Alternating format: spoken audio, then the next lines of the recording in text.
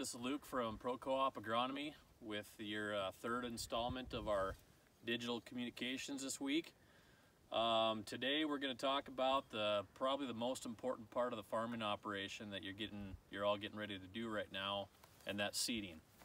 Um, when you think about seeding we need to focus in on how do we protect the genetic potential of that seed going in the ground. That's really the whole point of it is to get that stuff in the ground protected up um, and so it can raise a crop with the most potential obviously. And there's things in the later in the season that obviously affects that potential but if you screw up at seeding time uh, there's no making up for it. So today um, we're just going to chat a few things that to, ponder. Um, you know the first thing is a seed and variety selection obviously.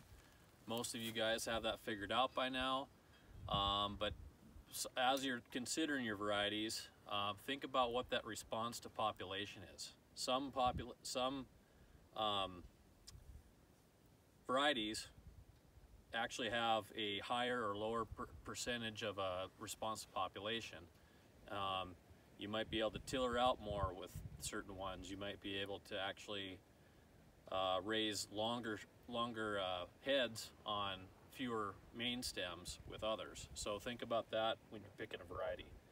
Your air drill setup, obviously that's huge there are so many different versions of that. Um, row spacing plays a, plays a factor, fertilizer placement, your opener depth, or I shouldn't say your opener width, and actually what will it be able to get through trash like this. This is an example like we talked in, in the last video of all kinds of weeds that just didn't get sprayed last fall.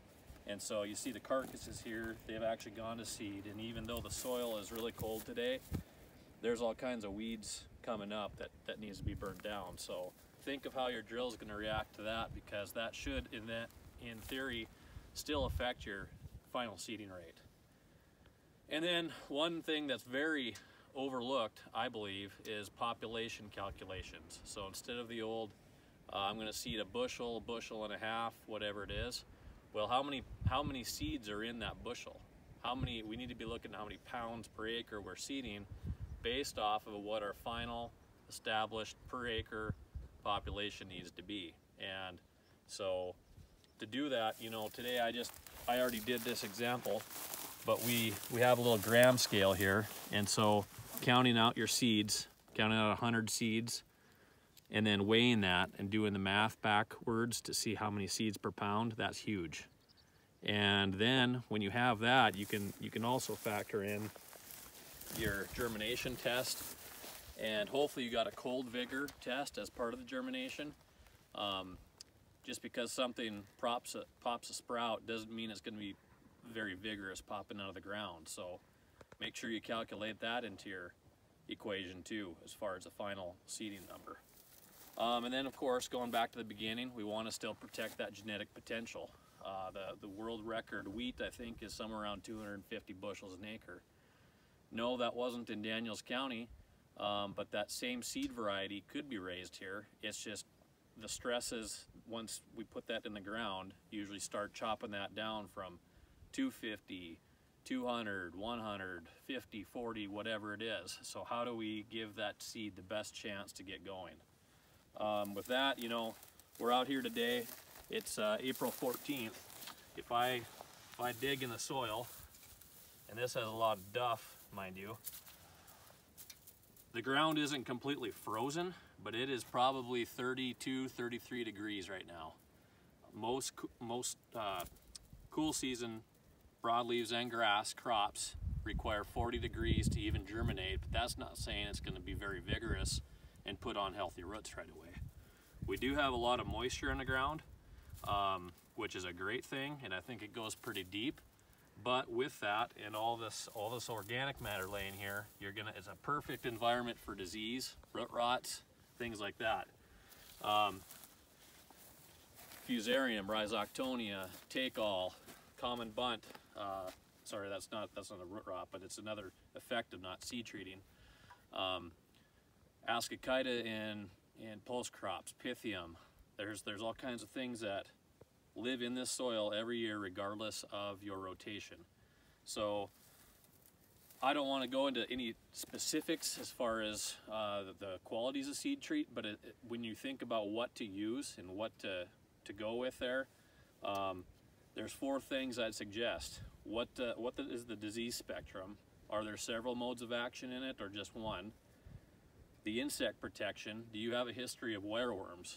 You know, that's another thing we've been seeing of more and more every year is wireworms. And in, in stubble like this, this is a perfect environment for them to just live underneath here. And uh, they like that cool, cool wet stuff. Cutworms can also be uh, a problem in here too, but that's more of a later season insect insecticide application. The third thing is help with vigor. So anything that you can do to help that seed wake up earlier, um, put on roots faster, and go for those nutrients quicker is going to absolutely directly affect how your stand looks now and later. And within that vigor range, there's several things historically we've had. We've had stamina, uh, that is one of the active ingredients in Obvius in pulses. There's Vibrance, Vibrance has been in CruiserMaxx Vibrance cereals and pulses. Both are great products. Um, and then a new one that we're starting to work with the last couple years based off of what we've seen in Canada from our friends up there is combining that vigor effect with nutrition. So yes, you're putting your fertilizer down either in a side band, in furrow, and uh, in a mid-row bander, those are your macros, but what does that seed need to wake up and be going right away? It's not, it's not looking for nitrogen right now as soon as it, it, it uh, cracks. It's looking for things like phosphate, zinc, boron, things like that. And um, so if you combine that vigor effect of things that are in, say, vibrance or Obvius, or in this case, pre-seed, pre-seed is the, is the line that we're working with from Canada. Um, we're actually using biostimulants, amino acids, seaweed, seaweed extracts, and things like that that have been proven to actually uh, flip a genetic switch within that seed and say, nope, it's not too cold. Nope, it's not too wet. Nope, you're not surrounded by ice on top of the ground. I'm gonna wake up and get after it.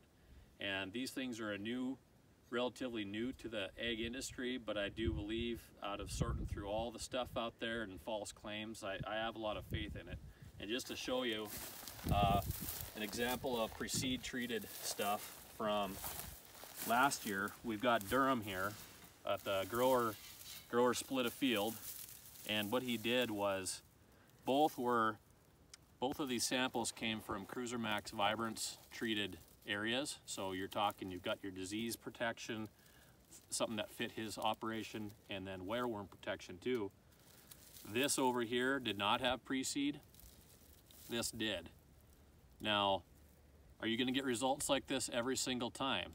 Maybe not. Is it always gonna equate to 15 bushel difference or something crazy like that? Probably not. But what he did was give that plant a lot quicker start and it got rooted down better that resulted in better stalk strength. Also went into tillering when, when your heads are getting formed and the head length is getting formed and all that. And so this was actually a huge yield difference. And so I think as we get going into 2020 and things are really cold, fairly fairly wet, um, I'd consider something like that. It's a, it doesn't take much of a bushel advantage to, to pay for something like that and it helps that vigor get going. So in summary, I mean, that's those are the main things I wanted to talk to you guys about on seed treatments. There's like all kinds of options out there. Let's sort through them. Talk to your pro co-op agronomist about what makes sense. Maybe you don't do every acre with something like pre-seed, but maybe you try it somewhere, see for yourself. Uh, but the main thing is, is make sure you protect that genetic potential of that seed. All right, thank you.